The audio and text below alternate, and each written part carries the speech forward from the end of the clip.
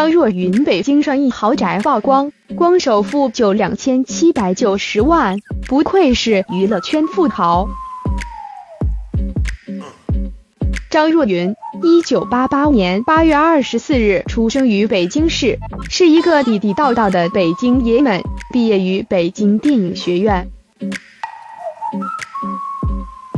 因参演电视剧《海的誓言》而进入演艺圈。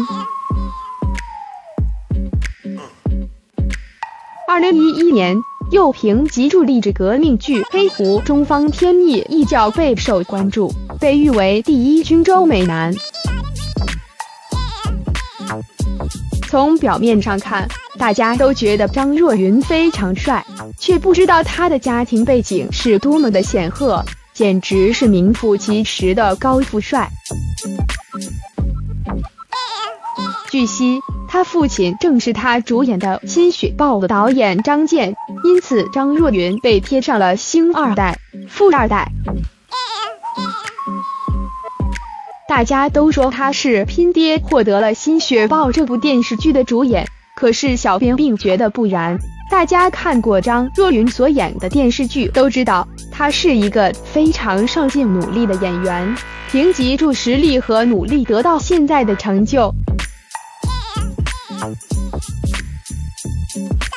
张若昀去年参加了一档综艺节目《花儿与少年》，在节目曝光了他在北京的四合院豪宅，据说这套豪宅有的九室九厅九卫，价值过亿，光首付就花了两千七百九十万。网友看了过后直呼，不愧是娱乐圈的隐形富豪。从外观看，张若昀豪宅位于北京欧陆苑，是一套不折不扣的四合院，有那么一点京城的味儿，不过失去了一点传统的韵味，已被现代化。不过在北京这种地段，价值过亿肯定是要的。不难看出张若昀家族显赫，家财万贯。张若昀独享一栋九室九厅的别墅豪宅，室内宽敞无比，整体以现代简约装修风格为主，简约朴实。白色的背景墙搭配原木色的家具，又显得清新自然。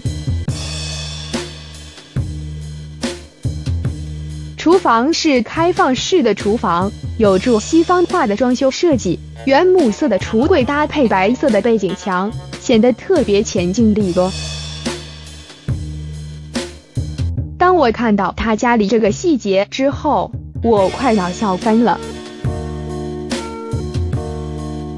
家中竟然有红绿灯，还把家当成了马路了，难道是要和唐艺昕天天压马路的节奏吗？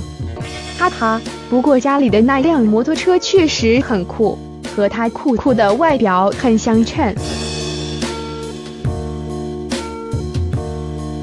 他耍酷的家居照简直帅呆了，真不愧是娱乐圈中的高富帅，简直酷毙了！祝福我的男神前程似锦，和唐艺昕的恋情甜如蜜。对张若昀、唐艺昕这对恋情，你们怎么看？